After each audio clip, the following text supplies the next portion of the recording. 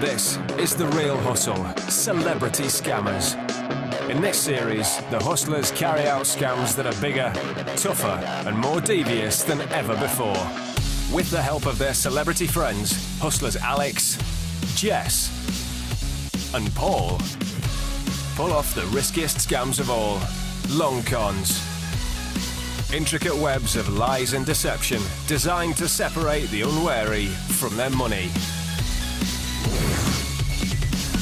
On tonight's show, Lisa Snowdon puts in her bid to become a hustler. The best we can do is, is £3,000. I'm authorised to write you a cheque right now. It's bottoms up for Jess. Ah, that's out of order. And this guy wants to tell it to the judge. I've got to tell you, it's absolutely outrageous. Do you understand that this I- is from the clerk of the court, sir?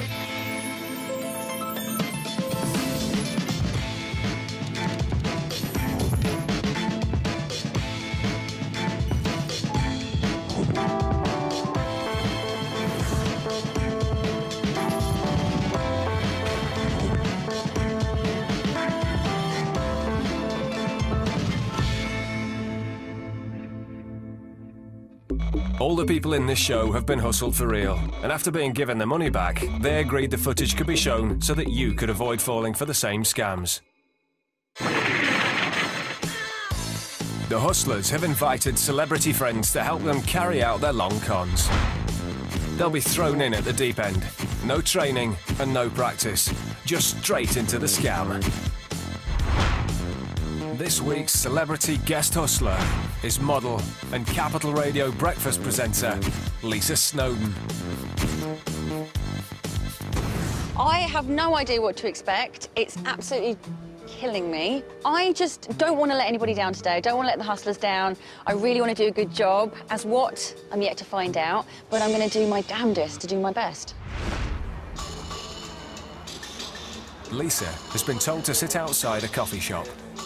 She has no idea what's expected of her, but she's about to find out from Jess. How are you doing? Good. Yeah? I don't know what I'm doing. Okay, well, you're going to help us convince somebody that a cheap painting is worth a fortune.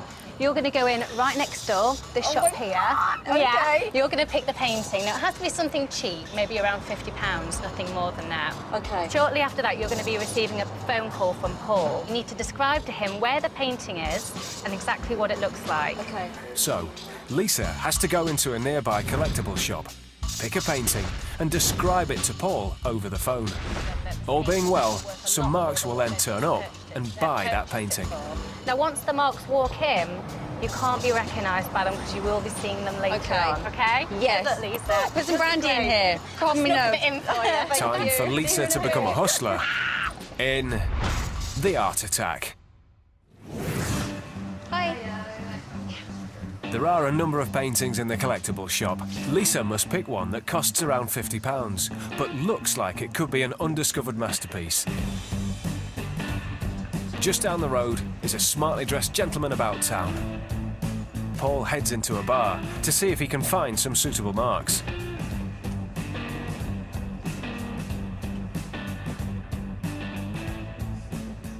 Hi, it's Rob. If you get this, call me as soon as you can. Thank you. Paul has targeted these people. Time to put the scam into action and bait the trap. Lisa makes a call to Paul. This is Rob. Hey, it's Lisa. Hi. Yeah, listen, um... Here's how this it is what I works. need. I'm more- Lisa's going to give Paul an exact description of the painting she's chosen. And Paul will then repeat everything she says so that the marks can hear. There's a little shop down here called Past Caring. I've just seen a piece. Um, they want 50 quid for this. It's actually worth about two grand. Now that Paul has the marks' attention, he's going to describe the painting to them in precise detail. Now, let me get this right. It's uh, Lots of blues and creams. It's like a Pac-Man very blue and cream, and it has an image on it which is like a Pac-Man. with a big upside-down triangle taken out of it. It's large, abstract, Kind of an abstract Pac-Man with an upside-down triangle on it. And it's, it's quite a big piece. and there's like a guitar behind it. It's right in front of a guitar. There's a guitar right behind it. There's a bunch of paintings, and it's the one at the back. Okay, if you can get there, pick it up and let me know If not, I'm gonna... If the painting's such a bargain, why doesn't Paul get off the phone and just buy it? I can't buy it because Julie's taking my wallet. She's, I'm waiting for her here to go and buy it. I'm here quicker. Because I he doesn't have his wallet. worth- I'm telling you, it's worth two grand. I want to call Ian over at the auction house and see if I can put it in there. Um, Maybe his misfortune could be their chance to make some serious money. Really But will they take the bait? All right, thank you, thank you. Thank you, bye. Paul pops to the toilet, giving the guys the perfect opportunity to get a head start and grab the easiest £2,000 they've ever made. They don't hang about. That means Lisa needs to make herself scarce. If all goes to plan, they'll be meeting her later, and if they recognise her, the entire scam will be ruined. Just as Paul said, there's some paintings in front of a guitar. Can the marks find the right one?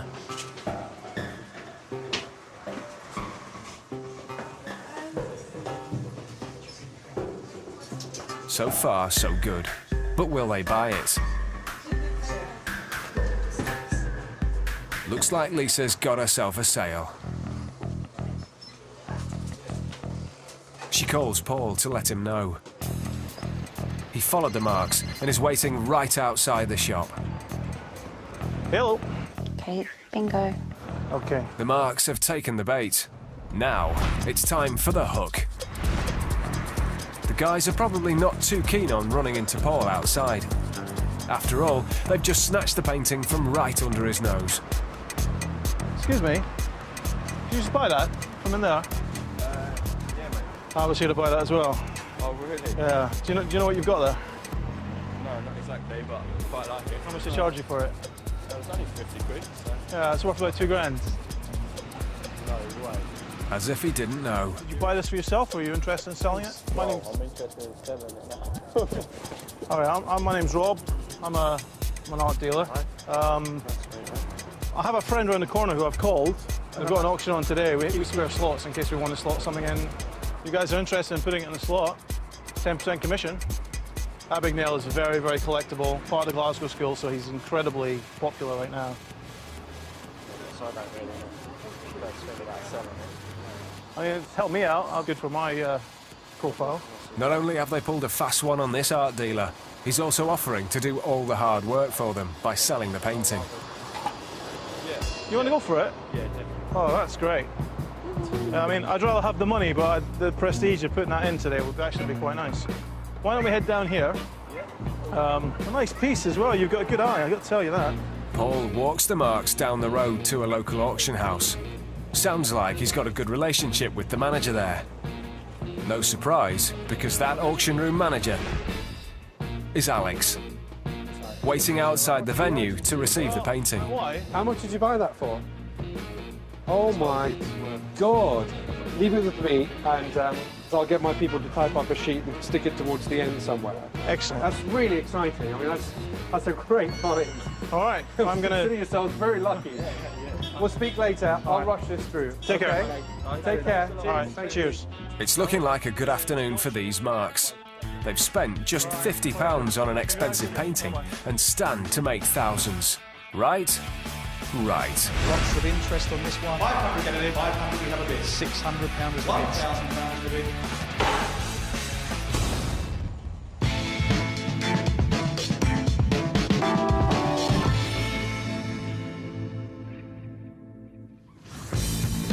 When hustlers go out, they don't bring money. They go armed with prop bets. Right. But a prop bet only has one rule, and that's that the hustler always wins. Drinks, please. Jess fancies a drink but has no intentions of buying one herself. Feel like shots? Yeah, love them. Okay, well, this one can be for you then. That eager. I'm going to get them over. Thank you very much. For this prop bet, Jess needs a shot glass full of whiskey, another full of water, a glass tumbler, Water. and a plastic card. That's the water. Place into the tumbler. So I'm going to put the card on top of the whiskey. I'm gonna. It's okay. A little dribble is fine. No one minds that.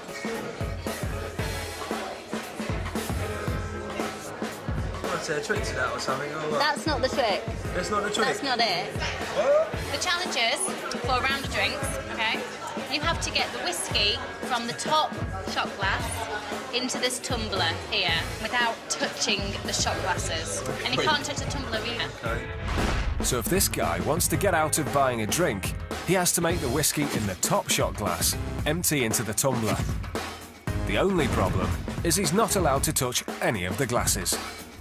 So give me some, uh, you know, what, what you thinking?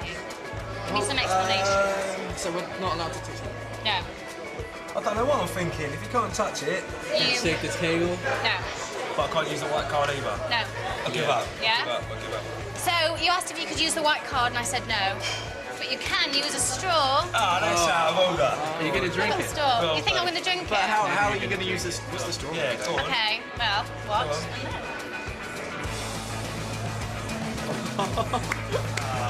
I. It's very clever. That's very nice. clever. That's very well impressed. So you owe us all a drink I now. really, I really drink. Jess lined up the two shot glasses mouth to mouth. Alcohol is less dense than water, so it just sits on top and doesn't mix, if done slowly. She then offset the glasses slightly to create a tiny gap. A firm blow with the straw on this gap caused the whiskey to come pouring out and into the tumbler. It's really good. Thank you. Very cool.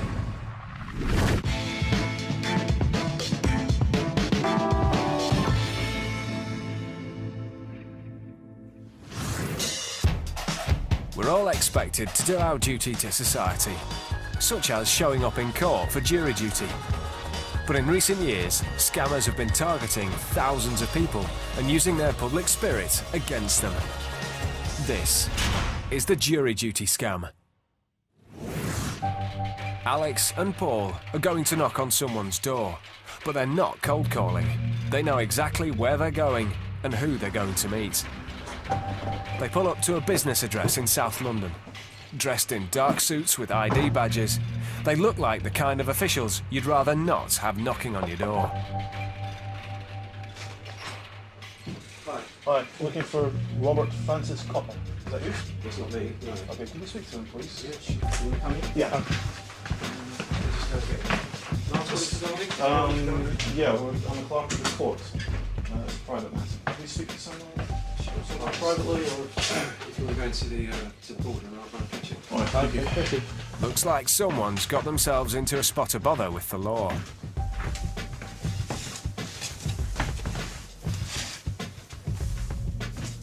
Hi. Right, Robert Francis Copper. Yeah. I'm Robert Marks. I'm a clerk of Her Majesty's Court. For what? You've been given summons which you've not responded to, and uh, A summons for Jury duty. jury summons. duty. when? Oh, several actually. So. I've had several letters that you've never responded to. That's news to him. Is this your home address? I don't remember getting these.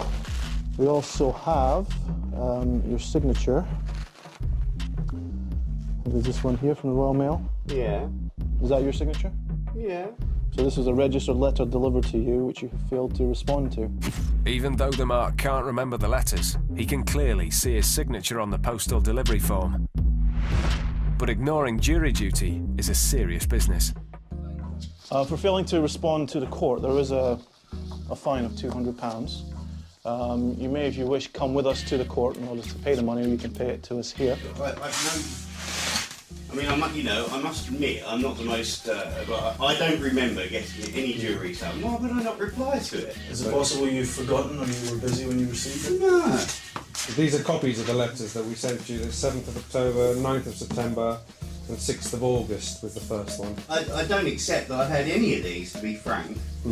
You know, I might be wrong, but I don't accept that I've had any of them. Are you able to make payment of the, the Absolutely right now? not. No, I'm not giving you 200 quid for something I don't accept. Well, okay. Even in the face of all this evidence, the mark isn't playing ball. Looks like this isn't going to be an easy payday for the hustlers. I'm willing to accept your Well, I, don't, I don't even know who, who are you? Do- Um, do my name is Robert? Marks. This is Ian Steele. Um, we're from Her Majesty's Court Services. Uh, we're based at the Old Bailey in London. Mm-hmm. And the judge looks on it very, very poorly. He will issue you a larger fine. If you can prove to the judge that you didn't ignore the letters, you will be refunded your costs and you will just But, have you to know, it's not a question of refunding because I'm not paying it. Absolutely Right. not. I'm not giving you 200 quid for something I don't accept. That's fine. It's outrageous. That's fine. That's fine. But we, Yeah, they- no, no, it's not private. mate. It's my business partner. And they're saying that I've had these jury summons, which I haven't replied to. Mm-hmm. You know. Mr. Copper, the fact is, is that we do have your signature from your location.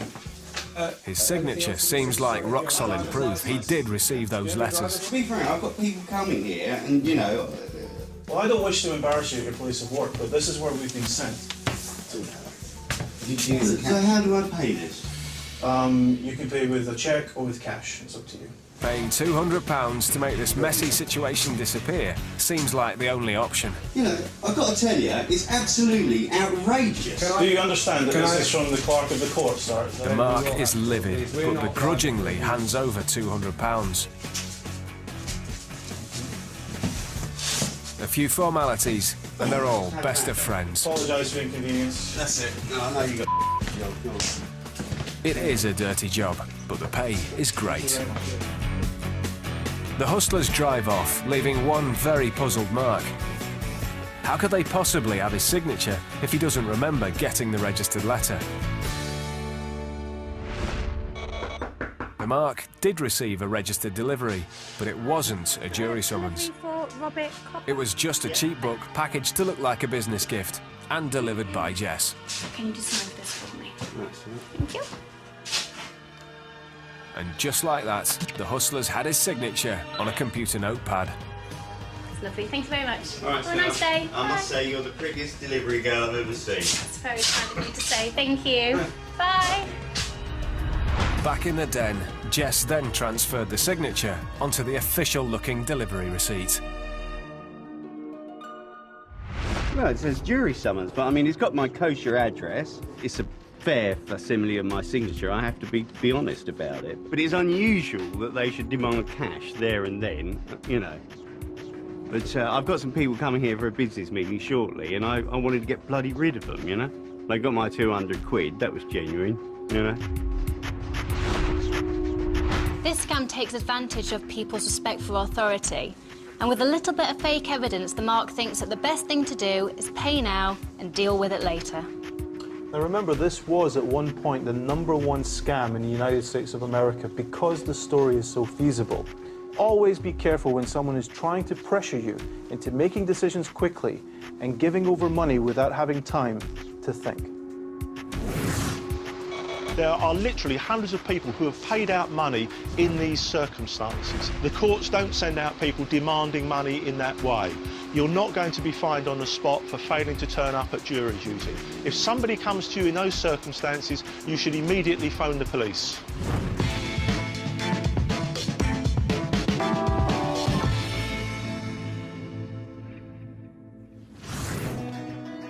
Earlier today, Lisa Snowdon picked a cheap painting in a second-hand store. Paul then had a loud phone conversation in front of these marks, making it sound like the painting was an undiscovered masterpiece. They, they want 50 quid for this. It, it's actually worth about two grand. The marks bought the painting for just £50 Did you just buy that? Come in there. I'm, I'm and have let Paul enter it into an auction, I know I can make two grand. expecting to make thousands in return. That's a great find. Consider yourselves very lucky. In The Art Attack Part 2. Here we go then, lot number 247. The auction is already underway as Paul and the Marks arrive and are welcomed by boss Alex. And there are some familiar faces in the crowd Jess and Lisa. The success or failure of this scam rests on her celebrity shoulders. Lot number 248. 248. Another painting is under the hammer, and it's attracting some high bids. This one, £1,300 all done. Now the Marks have got comfortable, it's time for Lisa and the Hustlers to reel them in. 1100, 1200 with me. Lisa stands anywhere in up as the next lot gets underway, leaving her auction brochure behind.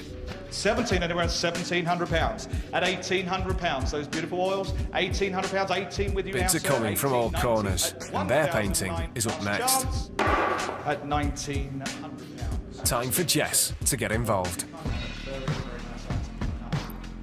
Excuse me. It's pass me that brochure? I've lost mine. Thank you. Cheers.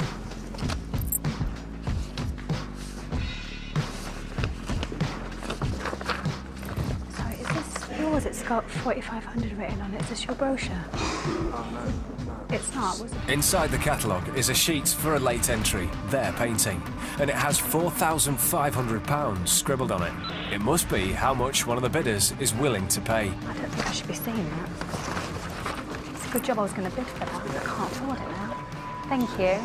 Sorry, I, I, I don't, I don't know who that was. Right on cue, here's Lisa for her catalogue. I'm sorry, you can pass me that, could you? It's my catalogue. Yeah, thank you. She takes a seat at the phones. She'll be acting on behalf of a phone bidder, who the marks now suspect will go up to £4,500. For the scam to work, Lisa's performance needs to be completely convincing. Paul's got some last minute advice. In case the bidding's a little slow. I give you a signal? Just As he was already a registered seller in the auction, the painting has been entered under Paul's name, not the marks.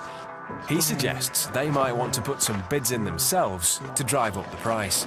just give you a thumbs up, okay? Now, it's time for the auction. This is a Frank Abagnale abstract oil on canvas. Lots of interest on this one in such a short space of time, and a telephone bidders as well. So I'll do my best to accommodate everybody. 500 then. 500 get it in. 500 we have a bid. 600 anywhere with us. 600 pound is the bid. The marks can't believe their luck. 700 pound is They the only bid. paid £50, and they've already made a huge profit. Who knows how high this could go? 800 pounds on the phone. 900 pounds anywhere on this one. This one. Paul signals to start pushing the price up. Beautiful piece. 900 pounds is the bid. You're out on the phone at the moment, looking for a thousand now. 1,000 pound is the bid. 1, It's down to a bidding war between the guys and whoever's on the phone. 1100, any, 1100 at the back of the room. 14 They have anywhere. no worries about pushing the price up 14 with their inside knowledge. At 1500 pounds, 1500 pound back of the room, 1600 pound on the phone, 17 with us, 1800 pound is the bid, 1900 pound is the bid now, 1900 pounds at the back of the room. The marks have the current highest bid at £1,900. Over to Lisa to outbid them. 2000 pound anywhere, at 1900 pounds at the back of the room. At But something's just gone horribly wrong. 2,000 pounds, 1,900 pounds at the back of the room. Are you all done on this one? At this crucial moment, the phone lines have gone down, On this one, 2,000 is the bid. leaving the marks still as the highest bidders. I have to move on. Selling then at 1,900 pounds, at 1,900 pounds. Sold. Your number, sir? The hammer comes down like a ton of bricks. Two, three, eight. They've just bid almost £2,000 for a painting they already own. Unfortunately, I'm going to have to take a small break um, while we sort out our telephone system, and then we'll resume the auction. Thank you for being Have a word with her. Okay, there was a bid coming in. I'll have a Stay in your seats. I'll have a word with her. Can Alex and Paul help the marks out of this sticky situation? Okay, I need to go and use my mobile. This is not on. I just can't believe this has happened. Lisa's putting in the performance of her life. She's not happy about it either, so let's just see where she stands. We need to figure this There's a chance that the phone bidder may want to buy the painting off them directly, so the marks could still make a profit. Is having a word with them now. What I want to try and do is get a, arrange for a private sale, so she will pay you directly. I know that they they're very interested in buying it because I was on the phone to them earlier. So away from here, just. Alex goes off to get Lisa. This is the first time she'll come face to face with the marks. She has to be totally convincing in her role as a disgruntled phone agent. And yeah, sorry, and this is Jenny. He really wants this piece, so the best we can do is is three thousand pounds. I mean, I'm authorised to write you a cheque right now, but that's it. Okay. I mean, this shouldn't have happened. This is No, I know. I take full I understand this should responsibility happen, I mean, if there wasn't another collector in the room, you would have probably hit five. You know that. With all due respect, this isn't an issue right now. I understand now. that. This this is nothing to I do. I understand that, but 3,500, it's got to be a fair price for these guys. I don't hold out much hope. I'm Okay. being very honest with you. He's not a happy man right now. Yeah, you'll pay. She certainly knows how to drive a hard bargain. Okay, what do you want? Okay, all right. We've, All right? Yeah, we've made a decision. Good. That's good for everybody. Let's So what's the news from the phone bidder? But uh, just to let you know, um, she's writing you a cheque, a personal cheque for 3500 to your name. Result. Lisa's boss is willing to buy the painting from the marks for £3,500. But in order to get it, they have to buy back their painting from the auction house. I need to show a transaction from you. Okay, Because you- it's your number and it's a legally Once it binding goes in the contract. record, it's- so once it comes, to, once the money comes to me, it then goes to the owner of the owner of the painting. It goes to Rob, and I'll Rob pay you will pay you directly, straight don't worry. directly. So they need to give Alex the 1900 they So, bid in the auction. um, But they'll get that money right back from Paul, the registered seller. Then they'll be free to sell the painting to Lisa for a whopping profit of three and a half grand. Will the Marks go for this amazing deal and put their hands in their pockets? The hustlers give the Marks a little time to pool their resources and get together the money. There go £1,900. Um, I'll trust you. You've just counted it. And in return, they get a cheque for three and a half thousand. Plus, there's another cheque from Paul to reimburse them for the 1900. Messy, but profitable. Can't really complain. It was a hair-raising experience, but everything has worked out in the end. Thank you, gentlemen. Well, let me see I'm sorry about the Is that confusion. your umbrella? Um, thank you again. I'm, All right, thanks for your help. Take I'll- care. I'll, be back You're in just a second. Take care. The Marks leave overjoyed with their massive three and a half grand profit. But there's one tiny problem. The 1900 quid in cash that they gave Alex is real. But those two checks for the combined total of 5,400 are very fake. As fake as the whole auction house, which was set up by the hustlers. As fake as the other buyers, who were all in on it. Uh, you guys are all going to be given catalogues with numbers. We're going to specify who bids for what and who wins what. And as fake as Lisa's phone call to a mystery bidder that didn't really exist. The hardest part was just sort of gauging the tone and knowing how far to push them. When I was amazed that they were even bidding, actually, when the phones went dead. I mean, but they wanted that money, didn't they? So, wow. We told the Marks those checks are completely worthless. Absolutely, absolutely gutted. I don't know about anything to do with that. I just went on what he said. There was other there was other bids going on when we came in. This was we were like mid. Although after ours, it just stopped and everyone went. And everyone went.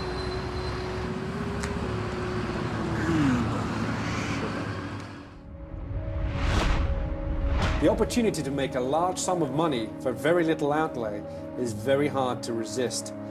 Also, this scam places the marks in a territory that they're very unfamiliar with. So, what do they do? They look for advice from an expert.